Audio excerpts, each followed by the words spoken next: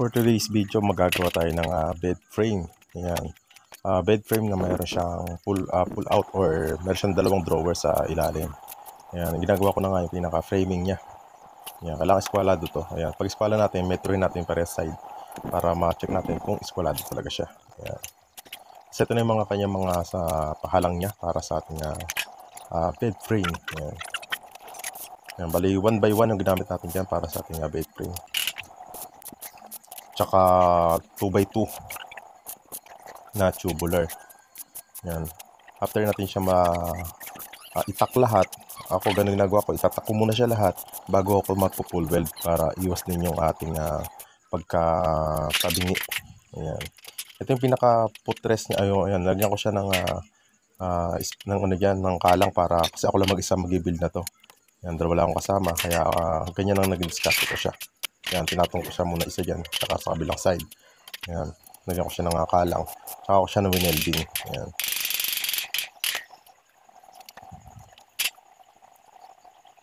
Para makuha ko ng lapat na lapat yan. Ayan, gumamit din ako dyan ng uh, bar clamp. Ayan. Ayan, para flat na flat yung ating uh, pagkakagawa ng ating uh, bed frame. Ito yung pinaka-design niya. Mayroon siyang design sa may headboard at sa may footboard niya. Ito yung ating uh, mga tinabas na para sa ating uh, gagawing design. Yan, one by one lang din ang ginamit ko rito para sa design niya. Doon sa bed frame natin lalagay ito. Ang ginawa ko nga dito nga design niya, isa para akong gumawa ng letter H. Ayan, parang ganyang H siya. Ayan, tapos niya, para siyang hugis na H. Ayan, para kasi tinignan ko yung pinaka uh, design niya tinignan ko kung alin saan ako mapapadali ng paggawa. At nakita ko nga na dito ako nagsimula sa paggawa ng letter H. At saka ako siya i-assemble. Doon ko nakita yung pinakamabilis na proseso kaya ganyan naging diskarte natin yan sa paggawa natin ng design. Yan halos tapos na yung ating uh, ginawang uh, design. Saka ko nga lang siya pinagdikit-dikit. Ayan. Kung mapapansin nyo bali dalawang H sa taas tatlong H dito sa baba. Ayan. Ganun ang pinaka-design niya yan.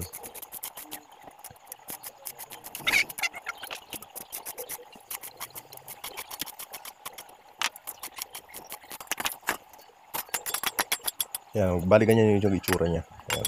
Dalawang H dun sa pinakataas, tatlo naman dito sa baba. Yan. Tapos sa uh, dito ko lang siya sinukat sa may maliit na square na yan.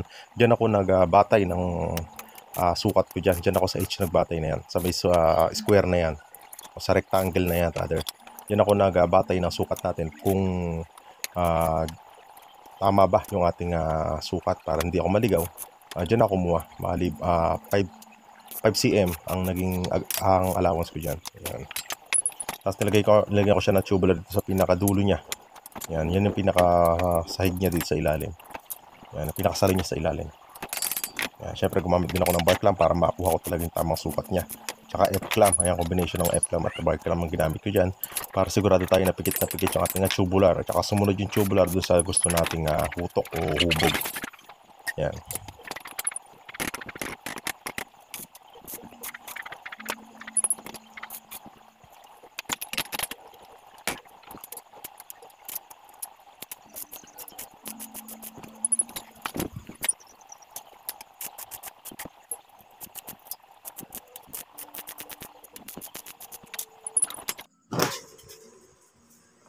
Ito na yung ating uh, bed frame. Ayan na, ikabit ko na nga yung pinaka-headboard niya na design. Dito na tayo sa footboard magkakabit.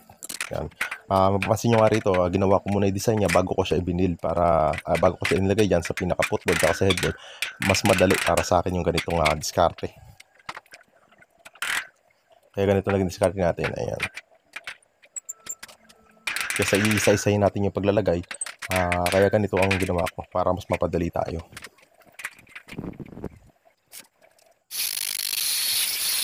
Dito na nga tayo sa pagka-grinder lahat ng ating uh, mga uh, winelding i-grind na natin siya ng uh, uh, grinding grinding disc.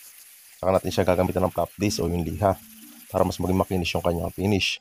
Saka natin siya iba-body filler. Ayan lahat ng uh, may siwang ayan pati mapapansin nyo yan pati likod na yan nilagyan ko siya ng uh, body filler Yan. Sa mga pakili-kili niya, hindi ko na siya nilagyan ng ah, body filler. Gawa nga naman nasa loob to na hindi naman tayo mangangamba na ito ay kakalawangin dahil hindi wala ito sa outdoor. Pero pagka nasa outdoor to o nababasa to, maobligahan tayo na i-primer muna to bago tayo magmasilya.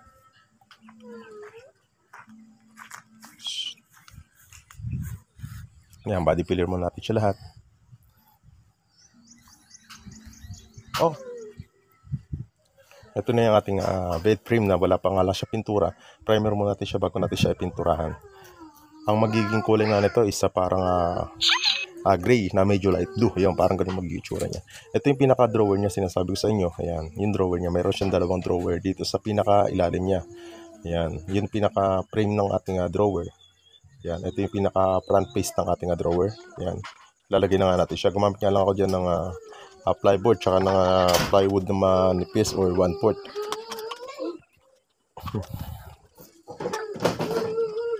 Well, friendly lang naman, friendly price lang naman yung ginamit ng ah, pinaka price ko dito kaya hindi ko na masyadong kinulob ng paikot yan. Ayan. Pero maganda pa rin na may kalalabasan niya tsaka matibay pa rin syempre. Ayan. Ito gagawin ko pa nga pala yung request ng ating kliyente na maglagay tayo ng isa pang ah, lock. Ayan, papasin nyo. Sa paglalagay ng lock na yan, papasin nyo, kinuha ko yung pinaka ah, center niyan. Ayan. Pag nakuha ko yung center niyan, tsaka natin siya bubutasan ng ating ah, hulso. Ayan. Ang gamit ko nga hulso rito is ah, 22 mm para sa ating ah, drawer lock. Ayan, 22 mm yung ating ah, ginamit yan.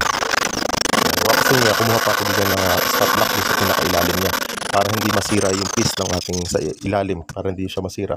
Kumuha pa ako ng uh, block dun sa ilalim saka ko siya ayan papasin nyo lagyan ko siya ng F-clamp para hindi masira yung piece natin sa ilalim. Ayan.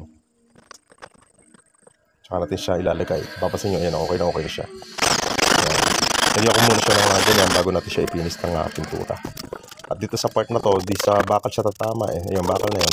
Grinder ko, yung tatamaan ng pinakalock niya. Ayan. Yung pinakalock niya na yung grinder ko na nga lang kasi tu- tubular naman tinamaan niya kaya maganda siya. Ayan.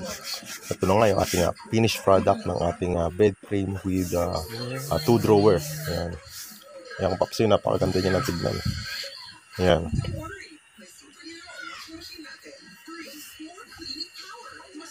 Yan, napakalinis niyang tignan, napakaganda. Napakasimple ng kanyang pagkakadesign sa kanya. Yan, ganun lang guys and thanks for watching.